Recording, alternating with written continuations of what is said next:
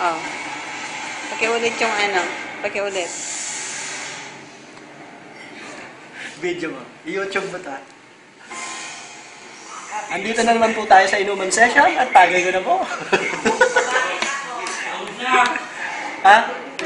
Ano yun? O, inumin mo to. ito po, ito po ang pinagagawa natin, pampasin po natin. Mula po sa computer natin, ito po ang ating tanggap ng ating anak. Kailangan niyo po paggalawin ang po ito na without ng any hand or bagay na papapagalaw yan.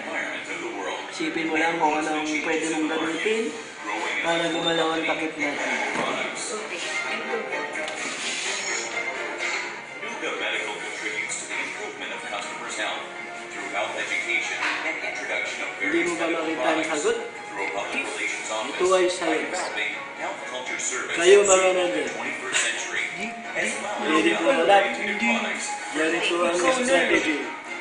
Para mapagalaw natin ang takip mula sa ibabaw, gumamit tayo ng tubig. Number one ang tubig. Ilagay natin ang takip